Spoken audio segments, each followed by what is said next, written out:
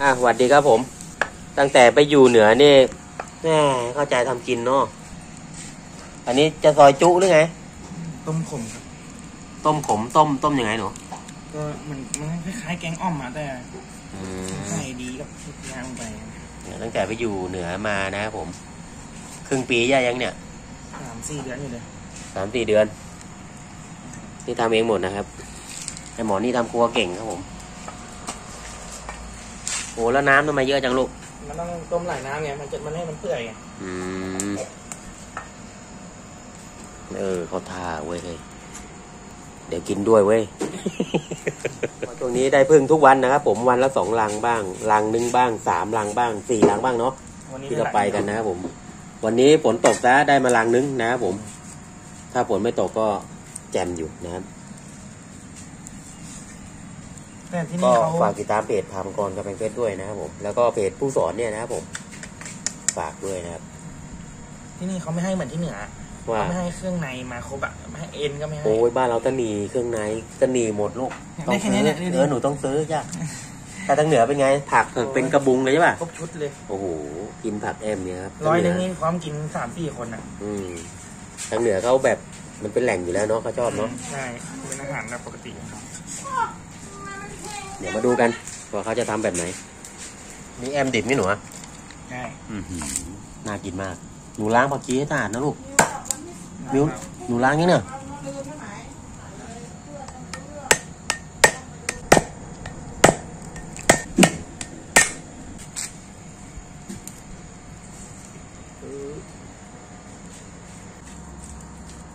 แบบรสนิ่ม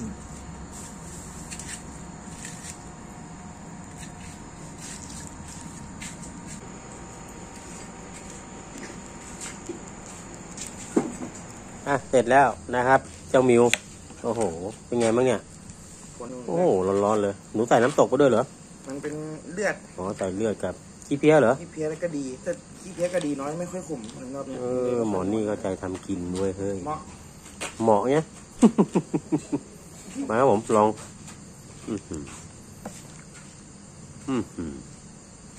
ขอบคุณทุกท่านที่ชมคลิปนะครับผมฝีมือเจ้ามิว วันนี้ไปตลาดนัดมาไม่ไม่ไม่รู้ว่าซื้อมานะครับ มาเห็นได้เอานั่งหันแล้วขอบคุณทุกท่านนะครับผม สวัสดีครับ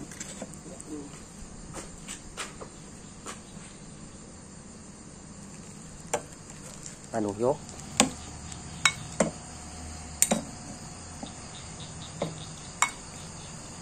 น้ำคุณครับ เพ ราะว่าน้ำมันเยอะไปหนูน้ำมันเยอะไปแล้วมันรสชาติมันกัดมันจะไม่จัดแห้งไงอืม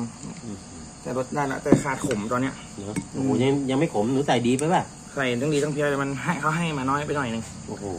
ไม่ไหวมั่งมันมีรสชาติขมเหมือนกันนะไม่มีข้าวนึ่งข้าวเหนียวอืมถ้าเขานึ่งก็เหมาะกิมมาครับผมกินด้วยกันนะครับ